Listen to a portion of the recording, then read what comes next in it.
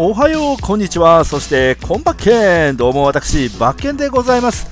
さあ今回はですねもうすぐ平成も終わってしまうということで平成元年に発売した好きな PC エンジンのソフトを10本選んでやってみました。まあ、あくまで私が当時好きだった10本ということなんでね、えー、よかったら見てほしいなと思います。それでは早速いきましょう。スタート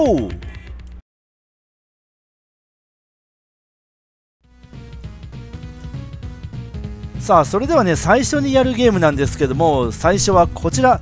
平成元年2月23日メサイアから出ましたモトローダー。こちらからやりたいと思います。それではスタート。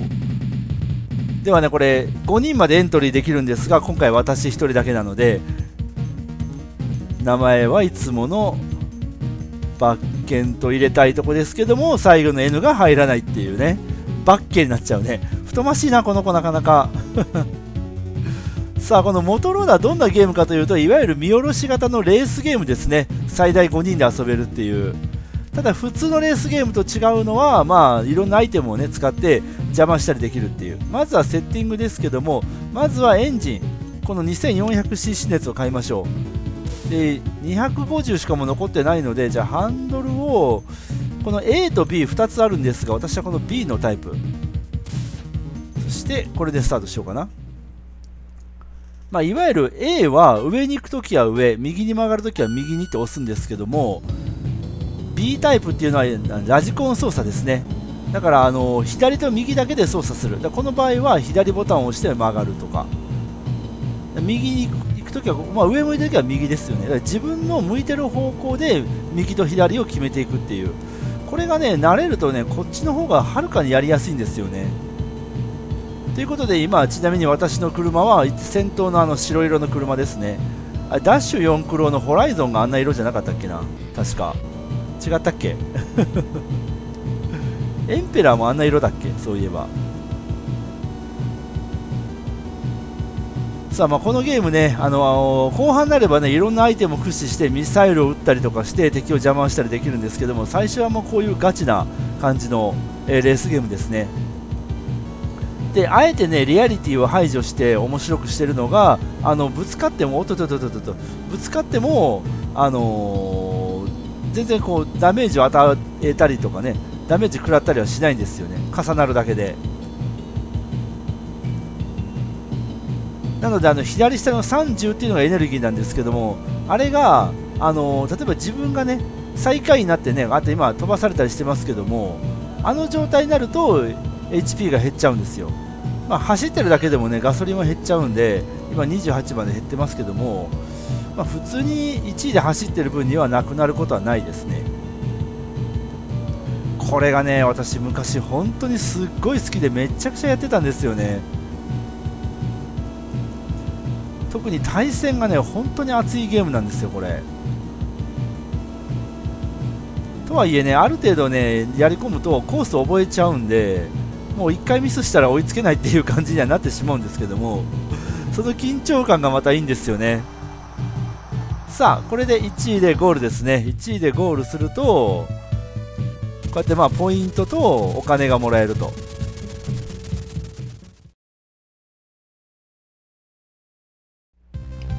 さあ続いての作品はこちらですね、えー、改造超人守備ビンマン。平成元年3月18日こちらもメサイアですね。まあ、このゲームね、ちょっと前に守備ビンマン特集っていうのをやったので、まあ、そちらの画像をね、え見ていただこうかと思います。それでは、スタート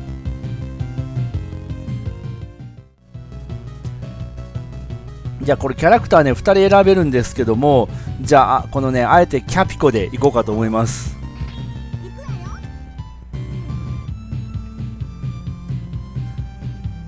こね、 one, two, three とね、ほんとそれぞれね、全然違うゲームになるんですよけども、 one は、とりあえずまずこの、右上のあの基地、あそこを目指してこの移動で順番に進んでいくんですよね。で、まあ敵を倒してね、お金を稼いだりとかして買い物したり修理をしたりするんですが、まあとりあえずまずこの辺から行ってみようかな。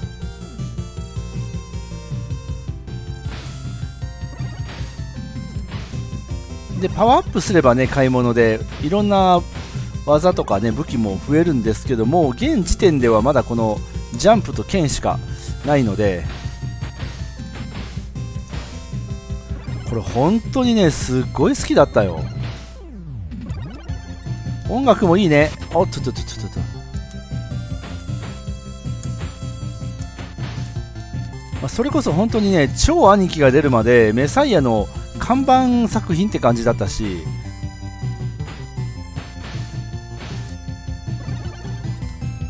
よっ。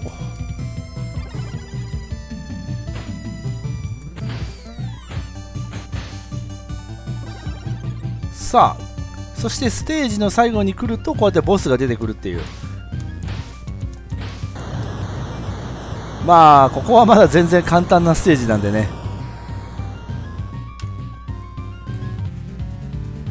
そしてステージをクリアするとこんな感じで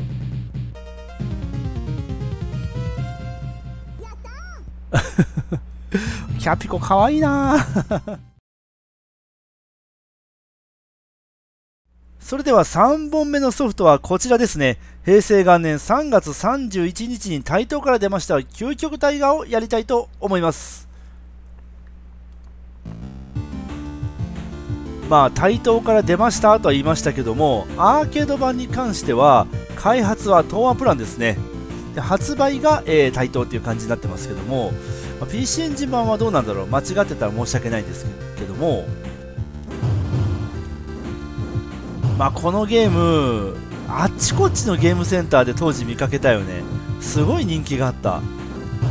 ていうか今でもレトロ系のゲームセンターに行くと割と設置してる店舗が多いなっていうふうにも思うんですけどもまあ、いわゆるこのショットとボムを使い分けて進んでいくタイプのシューティングの草分け的な存在じゃないかなっていう気がするんですよね。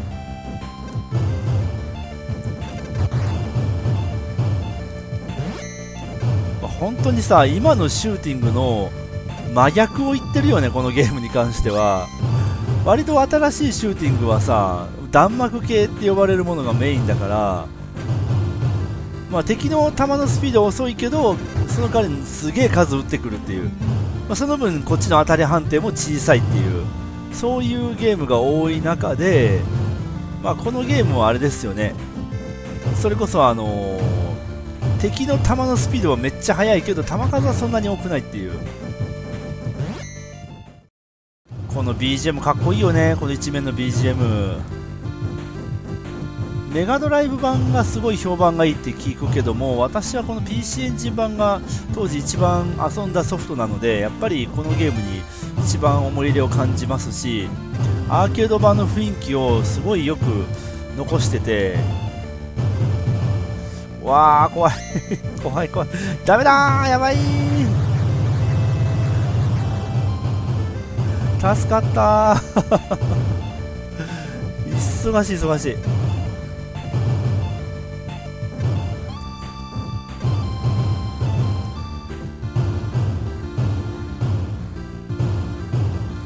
さあもうすぐかなボスは。来た。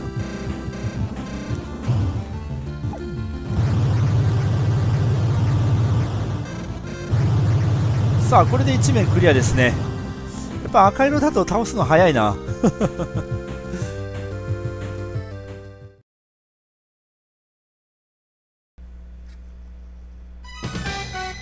さあ続いて4本目のソフトはこちらですね。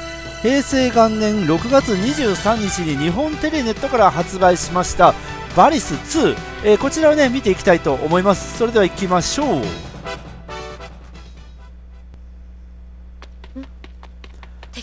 さあストーリーはね少し前に動画にしましたバリス1の続きということなんで今玲子の声聞こえましたけども優子のキャラがねすごいたくましくなってるんですよ。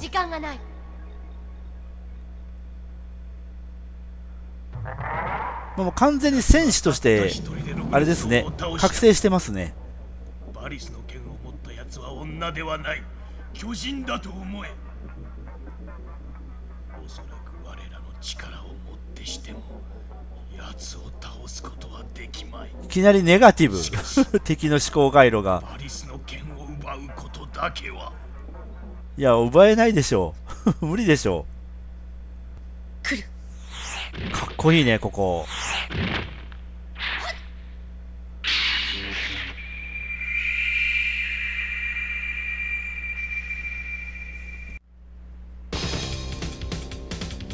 ちょっとこの戦士として覚醒した優子もいいよね。さあこの PC エンジンの、えーバリス2なんですけども時系列でいうとね、あの前回やった1の続きになるんですが発売したのがこれ PC エンジンで一番最初なんですよね。なので1よりもだいぶ前に発売したこともあってグラフィックがね一番しょぼいんですよね。ただ BGM はもうやばいぐらいかっこいい。もうほんと好きなんですよね2の BGM 敵が硬いそして。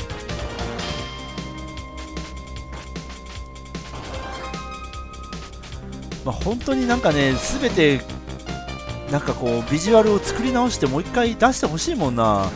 1から3で。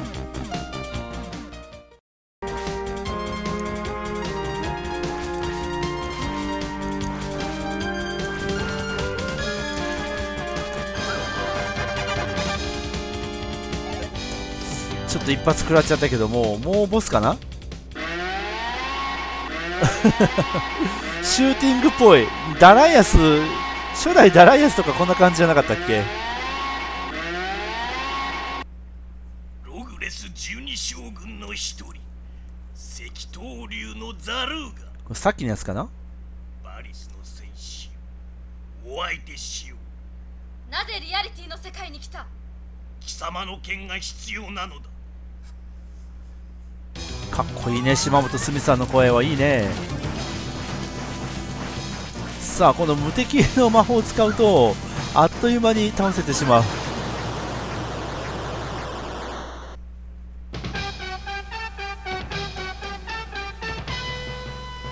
さあこれでステージ1クリアですね。そしてやっと拝める優子のバリスの衣装。玲子優子。ベカンティの人たちを救って。これ何でしょうね？残存試練かな？それができる唯一の人。まあ先はねちょっと気になりますけどもとりあえずじゃあまた次のゲームに行きたいあと思います。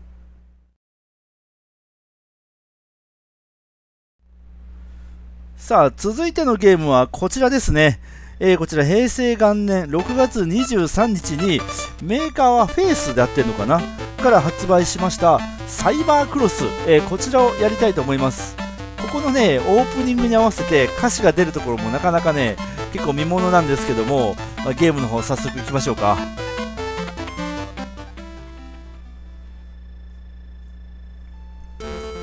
さあこのゲームですけどもまあいわゆるねあのー特撮のいろんな設定をなんかごちゃごちゃに混ぜたような横スクロールアクションですね。上着 変身のポーズはライダーなんだけど変身する姿は、えー戦隊ヒーローのレッドっていう。そして設定は宇宙刑事っていうだからそういう感じですけどね。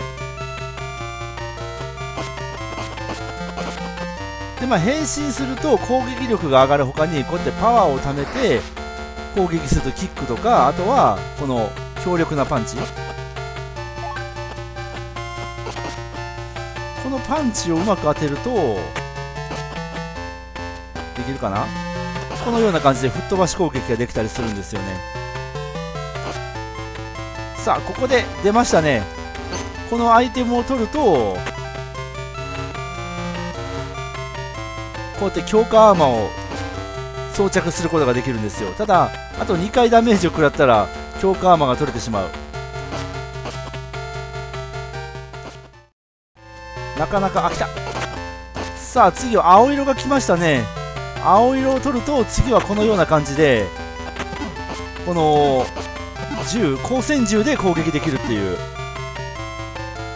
シャリバンでいうクライムバスターだね。クライムバスターだね。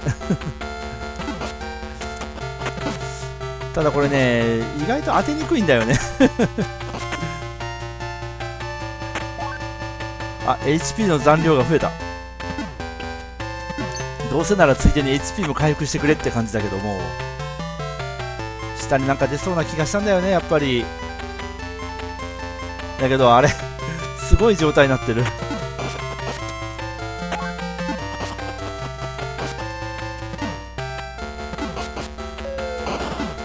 あと2発食らったら鎧が剥がれてしまうんでちょっと慎重にいきましょう。まああれですよ。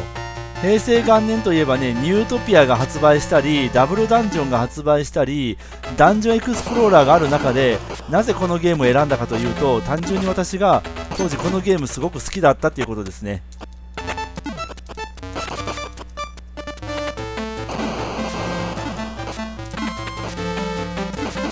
さあ倒しましたね。これでステージ1クリア。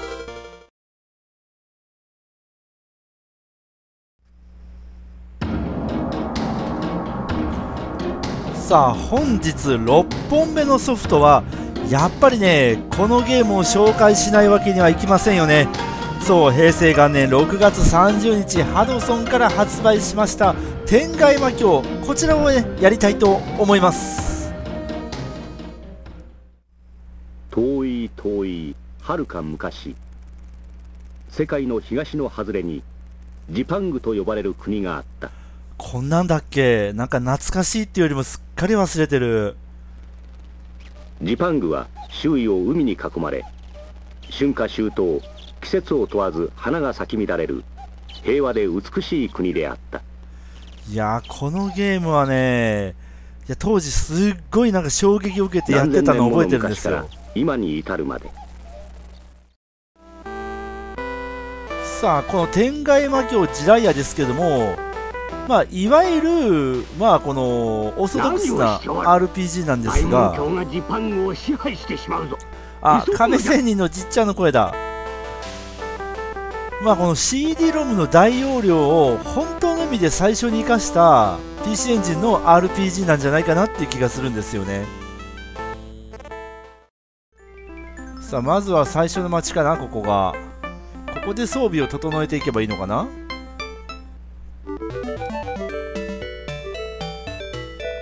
わあ懐かしい。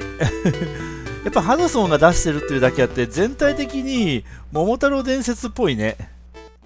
ちょっと戦闘を一回してみましょうか。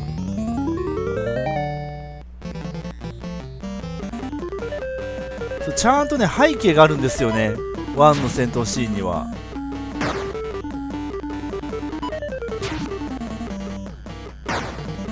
ただアニメーションはしてこないね。まあしてくるやつもいたのかな確か。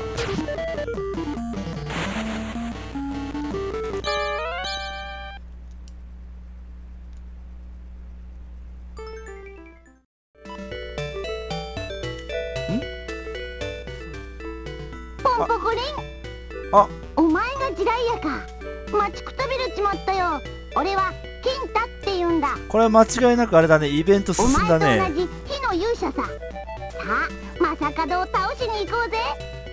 刀や鎧は後回しでいいって。とにかく急ごうぜ。まずは南のナマズの祠だ。金太が仲間に加わった。金太の大冒険だこれ。なんだ？戦闘？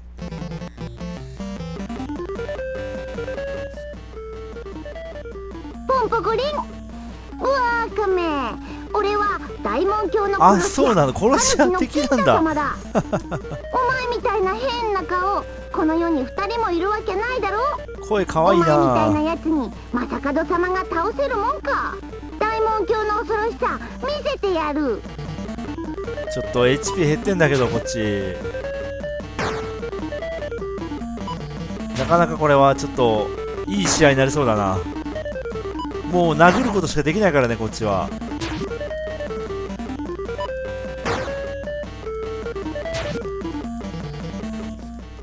弱い。ごめんなさいごめんなさい。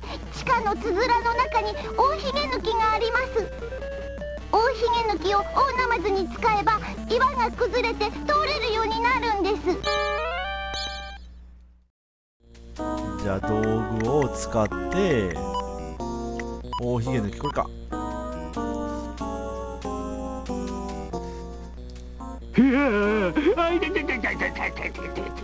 あれさっきと同じ声だ。これも亀仙人のちっちゃな声だ。大ナマズが暴れ出して地震が起こった。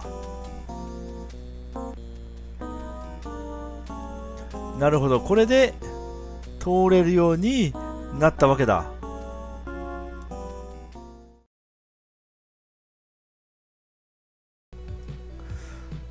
さあそれでは7本目のソフトの紹介ですね、えー、7本目はこちら。ハドソンから発売そして開発コンパイルのゲーム。そうガンヘッドですね。こちらも平成元年7月7日に発売したゲーム。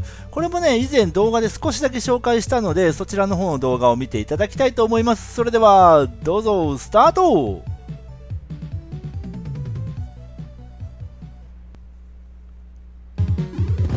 間違えた。もうねすぐね間違えてボム押しちゃうんだよね。さあこのゲームですけれどもあまあいいや。しまったと思った今。まあいわゆるねあのー、ハドソンお得意の、えー、縦スクロールシューティングで確かねガンヘッドがもともと映画であったんですよ。実写映画で。東宝とあのー、こどこだ。サンライズか。サンライズが共同で作ったっていう。シューティングしながらってやっぱ忙しいね。なんか。ただゲームの中身に関しては正直あんまり、あのー、映画は関係ないみたいですね。私その映画見てないんで何とも言えないんですけども。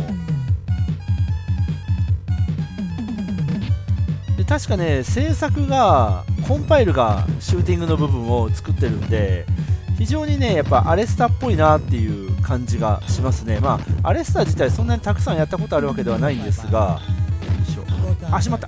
まあいいやも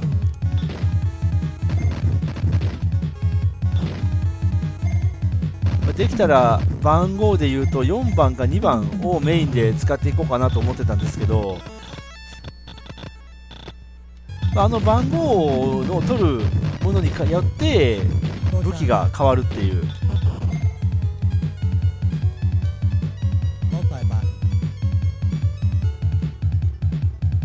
まあ大事なのは本当危ないと思った場面でいかにボムを使うかだよね。本当にねボムをねケチって失敗することが多いんで こういう特に縦シューティングは。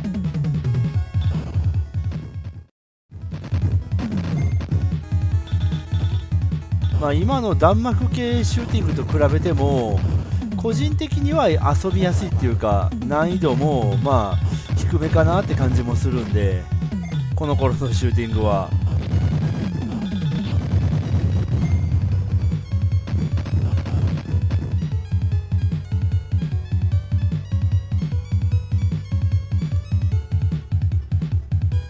さあそろそろボスかな？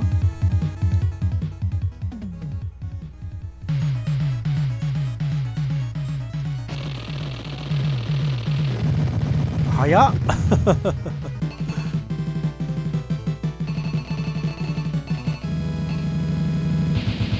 めっちゃ相性いいな今の武器と今のボスは。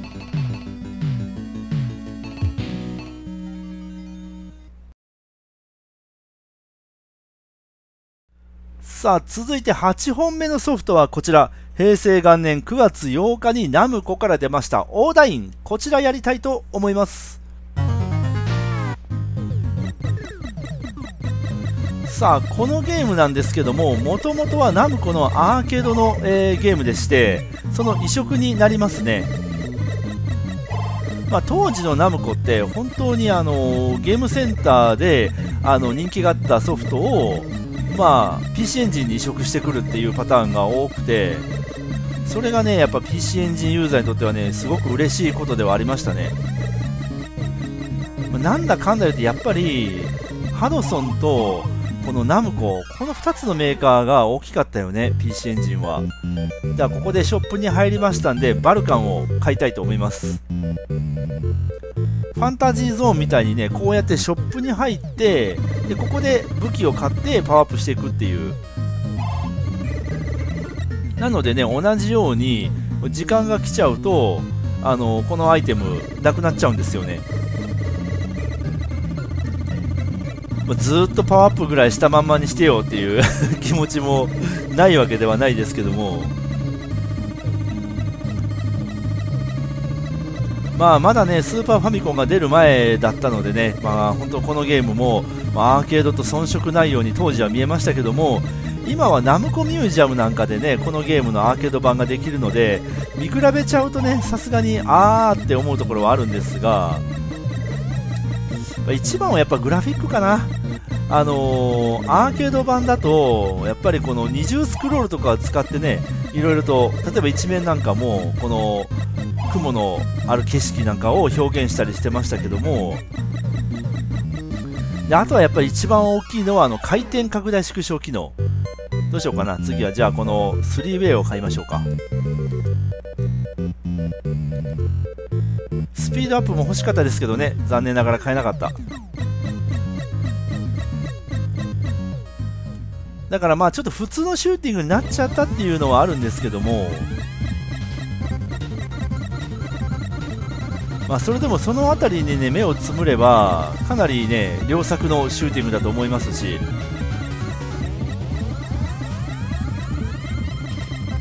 曲もかっこいいですしね。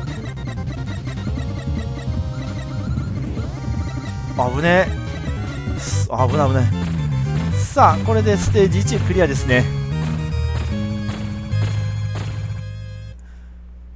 ま、もしかしたらね、いずれその PC エンジンとアーケード版のね、比較動画なんかも、えー、やろうかなって考えてたりするんで、意外と要望が多かったりするんで、まあ、その時にね、まあ、その辺りの話は詳しく、えー、お見せできたりしたらいいなというふうには思っております。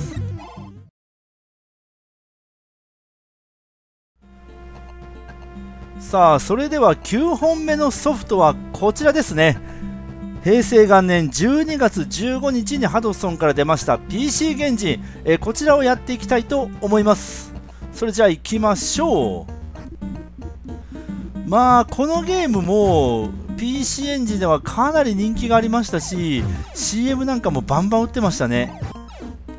なんかこう高橋名人の後のハドソンのこう桃鉄に並んで顔になったっていうそんな気がしますね。あとはボンバーマンかこれと。これとボンバーマンとあとは桃鉄っていう。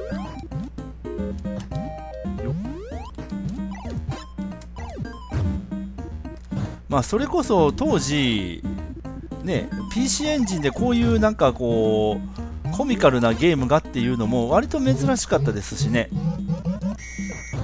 でもこの辺ぐらいからちょっとなんかこう任天堂に勝ちたいっていうのでコミカルなゲームが増えてきたような印象もありますし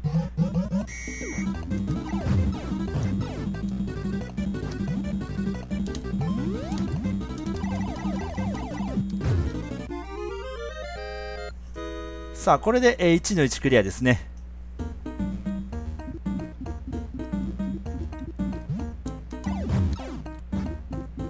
これがまた可愛いよねキャラクターが。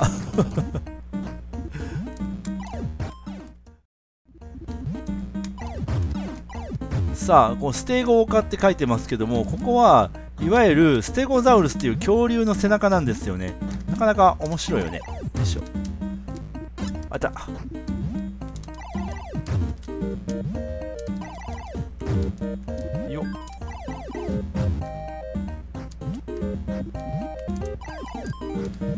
さあこれで HP も満タンになったんでまあここ別に行かなくてもここで体力をちょっと回復できるぐらいなんで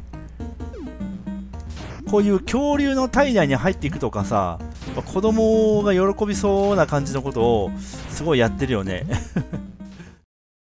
さあここを抜けたら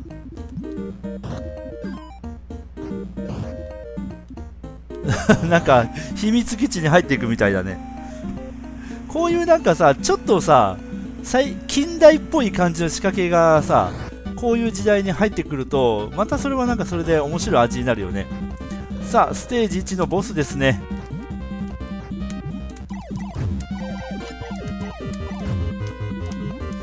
よ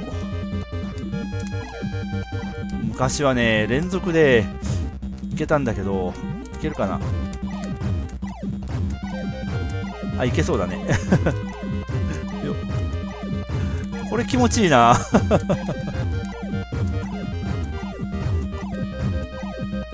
さあこれでステージ1クリアですね。かわいいな。まあスーパーファミコン版がでも一番よくやったかなこのシリーズに関しては。やっぱりこう今遊んでもこういうゲームは楽しいですね。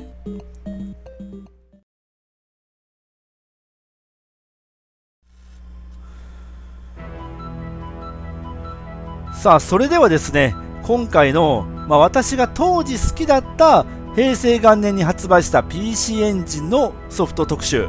最後にお届けするのはこちらですね。平成元年12月21日ハドソンから出ましたイース12ですね。やっぱりこのゲームを紹介しないわけにはいかないでしょう、まあ、くしくもこのゲームがね平成元年に出たっていうのもなかなかねこうハドソンの心意気を感じてしまうっていうのは私だけでしょうかね。すごいよね。本当になんか壮大な BGM とともに当時としてはねもう画期的なこのビジュアルシーンだよね。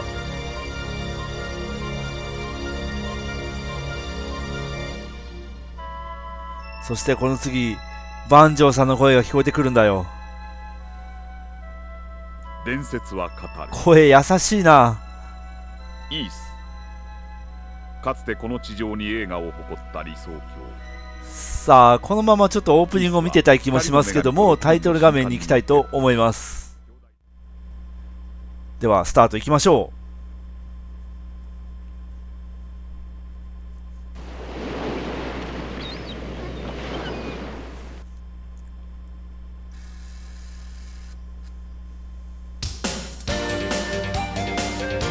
いやーこれやっぱり何回さ見ても 本当になんかこう当時のことも思い出しちゃったりするんですよね。すごいテンション上がってくるもん。やっぱりねこのゲームきっかけで PC エンジンを買ったっていう人も PC エンジン CD ロムを買ったっていう人も多かったみたいですし私はまだこの時は変えてはいなかったんですけどもまあ CD ロムを手にした時にやっぱり真っ先に買ったソフトの中の1本でしたね。かっこいいね。アドル。エステリアの国へようこそ。これが主人公のアドルだね。剣士殿待ってください。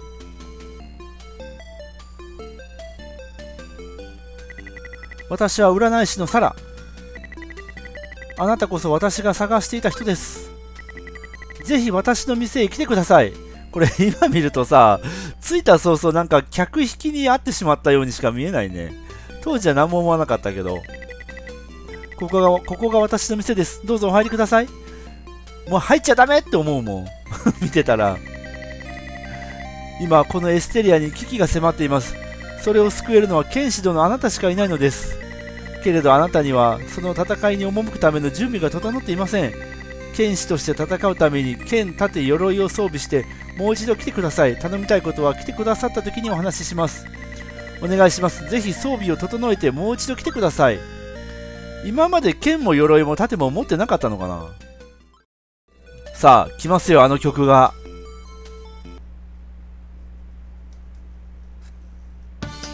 さあ来た。神曲来ましたよこれ。この曲ほんと好き。本当にすごい好き。まああのー、実はこのゲーム私3年ぐらい前にも2年ぐらい前か。2年ぐらい前にもクリアしてるんですけどもその時ね、あのー、このゲームをクリアしようと思ってたわけではなくて何気なくその PC エンジンをいろんなソフトをプレイしてる時にああ、イース1、2、7あったなと思ってこうこのゲームをやったらうわめっちゃこの曲かっこいいってちょっと忘れてたからね。泉の底にキラキラと輝くものがあった。泉に潜って調べると金の台座が沈んでいた。これで金の台座を手に入れました私を手伝ってくれるのですね剣士殿。ありがとう。ところでイースの本をご存知ですか？もう知ったかしとこうかな。はいって言ったら神殿のどこかにイースの本があると水晶玉が示しています。剣士殿本を取りに行ってもらえませんか？っていうのもはいで本当ですか？剣士殿ありがとう。ではこのクリスタルを持っていってください。道しるべとなってくれるでしょう。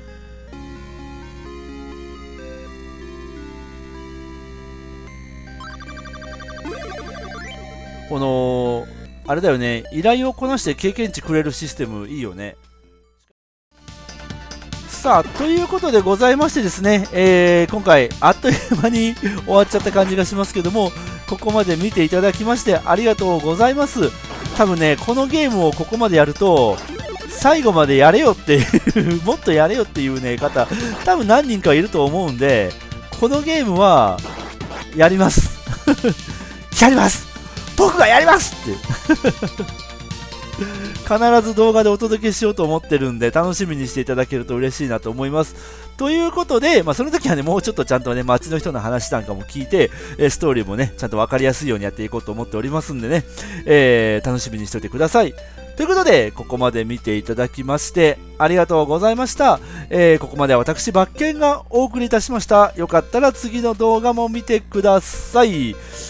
ではでは、バイバーイ。